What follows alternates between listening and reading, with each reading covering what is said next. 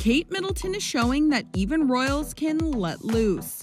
The Duchess of Cambridge and her husband Prince William made an official appearance on Thursday, attending Cambridgeshire County Day. During the appearance, Kate playfully kicked a ball and was all smiles in the photos. The 40 year old and her husband also enjoyed some local beer while at the appearance at Newmarket Racecourse, where they also visited other stalls and met with members of the public. While touring Cambridgeshire earlier in the day, they also visited a children's hospice as well as a housing charity.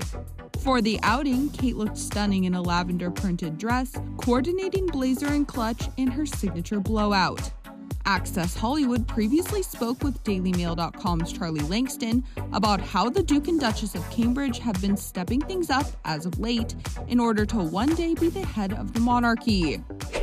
Kate and William are really kind of stepping up to the plate as far as leading the monarchy. Now, William is not the next in line to the throne. His father, Prince Charles, is going to be the next monarch in the United Kingdom. However, William and Kate are very much already in that kind of waiting in the wings role where they are both very much aware that they will be on the throne probably, you know, not too far in the future. I think they both know that Prince Charles is not a young spring chicken. He's not the age that Elizabeth was when she became queen. And I don't think anyone is expecting Prince Charles to sit on the throne for decades and decades to come. He will absolutely take on the role because he has been waiting his entire life to become king. But I think that his reign, in comparison with the Queen's, will be very short lived.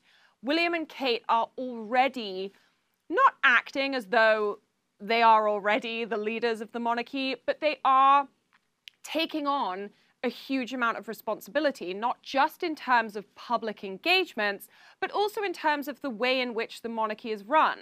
They're making small but very important changes, opening up the monarchy to a more modern point of view, not perhaps in a way that is noticeable every single day, but bit by bit, they have kind of helped the monarchy to evolve, to kind of embrace new traditions, and to kind of maintain the important heritage of the past while also kind of saying, okay, a few of the things that we used to do are seen as being very stuffy. They are very stuffy. Here are ways where we can kind of maintain the tradition behind these things without making it appear as though we are completely ignorant to what the rest of the world is doing and how they're living.